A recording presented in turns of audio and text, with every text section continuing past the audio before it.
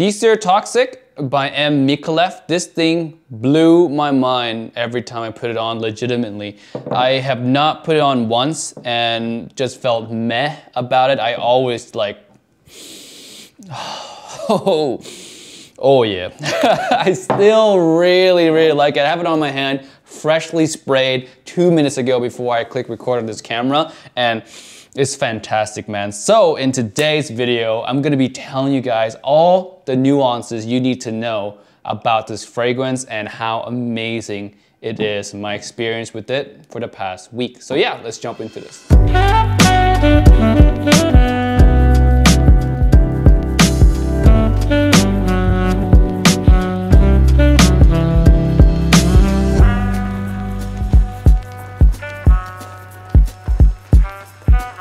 Yo, what's up guys? Welcome back to another video and today we have a review of Désir Toxic by M. Micallef and this one to me, super, super interesting DNA. I love everything about it so far. It has a lot of freshness off the opening with the bergamot, with the lemon, and with the cardamom as well. The cardamom in this case is like a ninja cardamom. It just hides a little bit behind the citrus. You get the fresh spiciness that comes across from it, but if you don't smell really close, you won't be able to find it, but the influence from that note is definitely there. So yeah, Ninja Cardamom. And my favorite part about this fragrance is when it starts to dry down a little bit, you start to get that really nice blast of black currant. You get that in the opening as well, but it comes to the forefront a lot more as it dries down to the mid and it comes across juicy. It's juicy, it's dark, it's rich, it has cannabis in here as well that adds a little bit of a green tinge, a little bit of a green darkness, not so much just a touch, but it's there. It also has cinnamon in here. Oh, man, and the cinnamon that's the star, really. That's the star that ties everything together. The cinnamon adds the spiciness, the smooth spiciness. And if you're wondering where the mass appeal factor of this fragrance is coming from, it's coming from the cinnamon. The cinnamon in the air just makes the fragrance feel warm and the spiciness very piercing and attention grabbing. It drags people in and the use of that note alongside the other ingredients just smells just sexy. It's just so well blended together and that's one thing I can tell you about this fragrance is that it smells very high quality. You smell the fragrance and you can kind of pick out the each individual notes but no one note come across very harsh or rough on the edges. It smells very smooth, very well done. You can tell it was made by someone who's highly skilled and to me, wonderful composition. In terms of the vibe of this fragrance, what vibe does this fragrance gives off? It gives off a very gentlemanly, classy because it has that kind of classic, nearly vintage style DNA, not a dated type of vintage, so not powerhouse kind of a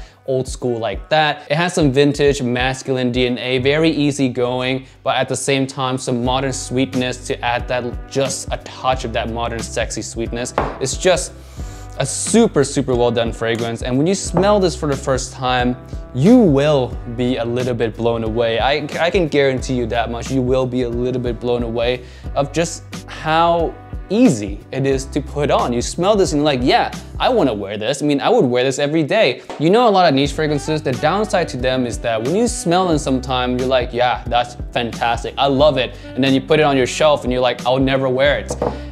I'm sure we have a ton of those bottles, especially if you're a collector. But with this one, you want to wear this. This is actually sitting with my designer fragrances in my whole collection in my wardrobe. I have my niche and designers separated. This one is sitting with my designer fragrance because I reach for it very, very often. I don't want to have to dig through my niche to find this.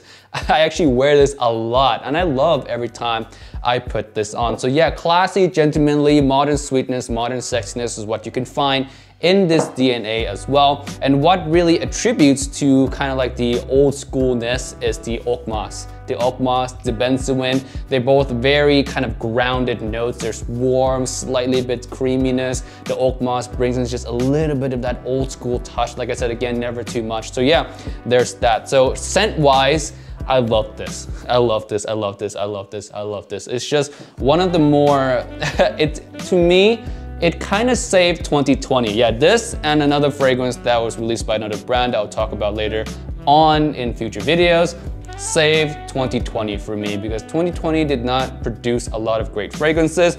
For me, this is one of the fragrances that I'm glad I discovered this year. Now, let's move on to performance. Performance of this fragrance is nice. It's really nice. It sits around the five to seven hour range, which is not spectacular. It's not beastly. It's just nice. Would I like it to last a little bit longer? Seeing that it's like a fall and wintertime type fragrance, I would say yeah. I wish it lasts a little bit longer but no complaints really from that department because it's just, you know, five, seven hours. It's a work day, so really can't complain there. Projection wise, this sits around the shoulder area. It's more personal, it's more reserved, and I think it fits the theme of this fragrance really well because for a fragrance that comes across sexy, classy, gentleman, you don't want it to project way too loud because that's not very gentlemanly. A fragrance that should project loud are like the clubbing fragrance, the juvenile, fun, extrovert, I'm gonna go party, I'm gonna pick up girls.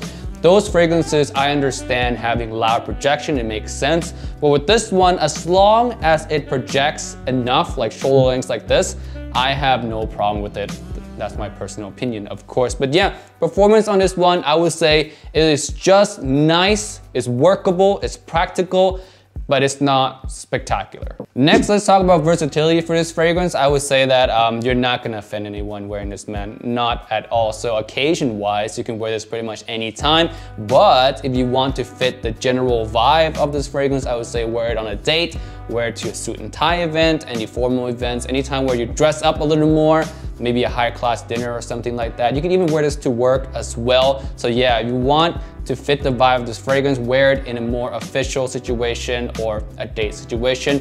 Other than that, you can wear this pretty much anytime as your signature scent for the fall and winter time if you want to do that because it's just so nice, it's clean, it's sexy, you're not gonna offend anyone at all with this one. In terms of season, fall time, winter time, springtime, summertime, maybe not, it's a little bit heavy. Uh, there's a lot of spices in here, there's a lot of warmth and rich notes in here, so maybe not in the summertime, but any other season does fine. Age range, I would say this one is definitely 25 plus. I do not see anyone lower than 25 wearing this. So yeah, 25 plus. If you're in college or high school, might not be for you. And the price point as well, not super uh, college or high school friendly. So yeah, definitely 25 plus. Now on to my favorite part, the summary slash the cons. Yes, I'll go over what I don't like about this fragrance as well. And the only thing I don't like about this one is the dry down. The dry down for me can come across a little bit on the mild side, a little bit bland, I guess in comparison to the opening and the mid, but the dry down doesn't really come in until like past three or past four hour mark.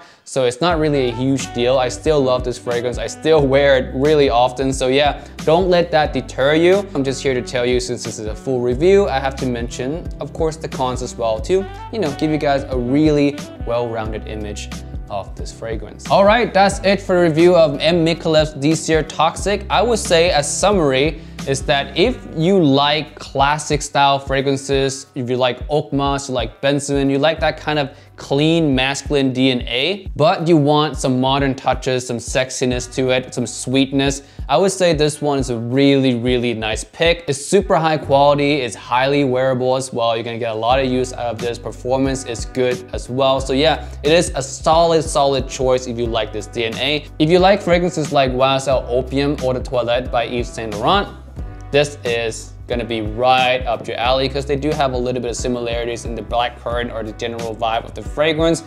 But yeah, if you like that, you're absolutely gonna like this one. Now for the final score of this one, I'm gonna rank it in tiers. S tier being super mega all stars, super amazing fragrance, and F tier being just don't even try it, it's not worth it. This one is gonna land very comfortably in B tier. Yeah, I'm gonna give it B tier. There's some downside with the dry down on this one. Performance is just nice, it's not the best. So it can make A tier if the performance was better. So yes, B tier for me all the way. Really nice stuff right here. Check it out. All right, guys, that's it for this video today. Thank you so much for watching. Uh, let me know down below if you already tried this, what are your thoughts on it comment down below. And also, if you're gonna try it out or not, let me know as well. Check out M. Micallef, linked in the description below. And with that being said, I'll see you guys in the next one. Peace. Bye.